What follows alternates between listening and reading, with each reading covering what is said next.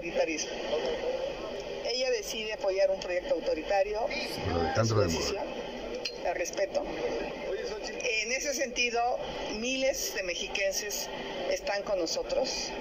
No se los lleva por una situación, por la incongruencia. La gente detesta la incongruencia. Entonces, que le vaya bien.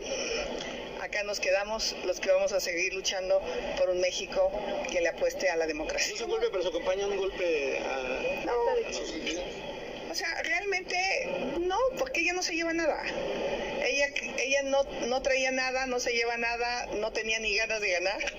Entonces, ¿qué se va a llevar? Nada. Oye, Xochitl, pero no es de alguna manera malagradecido a alguien que al que le dan una candidatura, se la juegan con ella, a pesar de que no era la, digamos, la candidata que querían poner en principio. Por eso digo que la gente detesta la incongruencia y la gente castiga la incongruencia.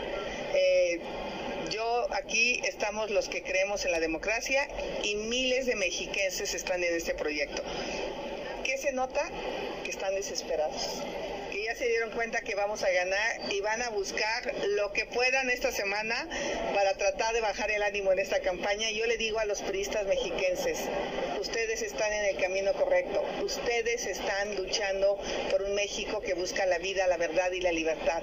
Ya sabemos, el otro México representa la muerte, el otro México representa la mentira, el otro México, el que ellos, el que ellos quieren, el que, el que claro